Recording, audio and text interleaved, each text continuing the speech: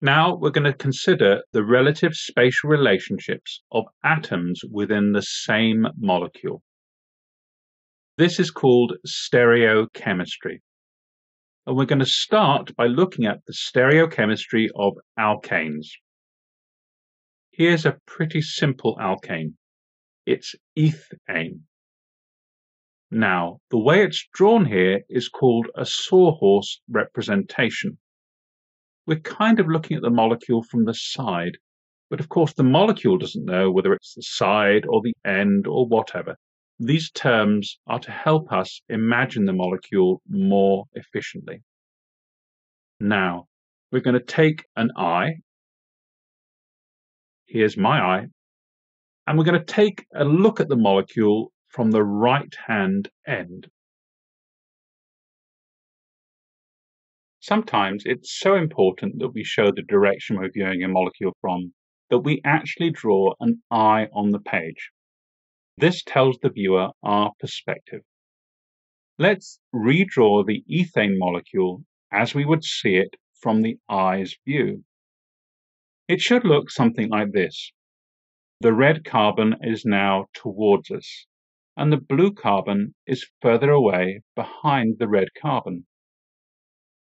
We can use our eye even more specifically to look down a carbon-carbon bond. To show this, we draw a dotted line from the eye to the carbon-carbon bond. But how do we depict what we would see? Well, we use a Newman projection. There's a dot in the center, and this represents the red carbon, or the atom of the bond that we're looking down that's nearest to us. Around this dot is a circle. This represents the blue carbon, or the atom of the bond that we're looking down that's further away from us. And then you have the substituents that are attached to these two atoms. In this case, the substituents are hydrogens.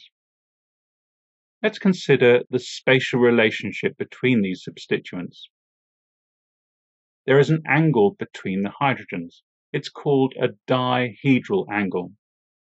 And what we see here is where the dihedral angle is 60 degrees. And when you have a dihedral angle of 60 degrees, this is called staggered.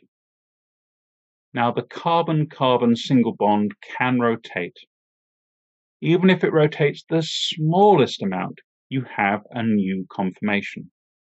These are called conformers or alternatively rotamers. Two conformers are conformational isomers of each other. It's impossible to isolate a single conformer. Even the smallest amount of energy is enough to rotate the carbon-carbon bond, creating a new conformer. But while we're thinking about it, how much should we rotate this theoretical ethane?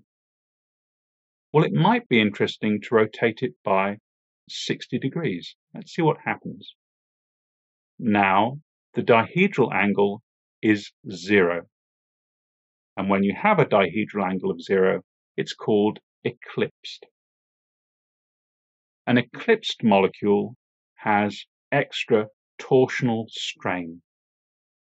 And when you have two hydrogens, that will produce torsional strain of 4 kilojoules per mole. There are three such torsional strains in our ethane molecule that is eclipsed.